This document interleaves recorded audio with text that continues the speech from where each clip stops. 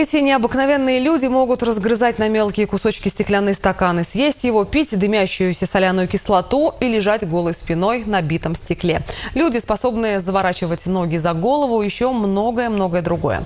В общем, кто такие йоги в наше время знает каждый. Хотя, в общем-то, йоги – это обычные люди, которые хотят и, главное, знают, как всегда быть здоровыми и физически, и духовно. Именно они и собрались в парке Николаева на открытый бесплатный урок по йоге. Понятие йога уже много лет как перестало быть чем-то загадочным и таинственным, доступным лишь узкому кругу посвященных. Сейчас йога уже довольно популярная форма активного образа жизни. И хотя многим людям все еще сложно перейти от сладостных диванных мечтаний о совершенстве к практическим шагам по приобретению этого самого совершенства, все же и поклонников уюта среди городской суеты тоже достаточно. Впечатление самое положительное. Единственное, конечно, э, немножко отвлекает ребенок, но нисколько не портит. Лучше так, чем вообще никак. Вот, в принципе, очень здорово. Столичные йоги скооперировались и отправились в парки менять сознание жителей города. А организаторами открытого урока выступила городская студия йоги. Целью необычного флешмоба стала пропаганда здорового образа жизни.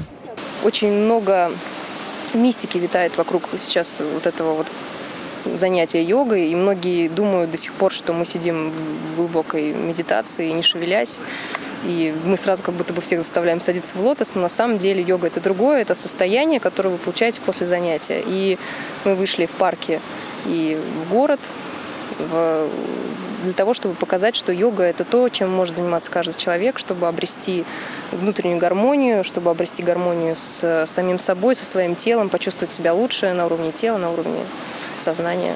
Заниматься йогой, по мнению специалистов, может каждый, даже если имеются проблемы со здоровьем. Единственное условие – предупредить об этом тренера. На данный момент, вот сегодня, это у нас э, показательное выступление. То есть э, девочки демонстрируют, что они могут, э, какие упражнения. То есть, как вы видите, упражнения все доступны. Это может освоить и ребенок, и более взрослый человек. Я думаю, даже пожилые люди могут присоединиться к этому направлению, к этому популярному на, на сегодняшний день течению. Познакомиться с йогой и попробовать занятия на вкус теперь можно каждую субботу с часу до двух в Чебоксарских парках. Но только при условии, что за окном хорошая погода. Юлия Важенина, Николай Яковлев, Республика.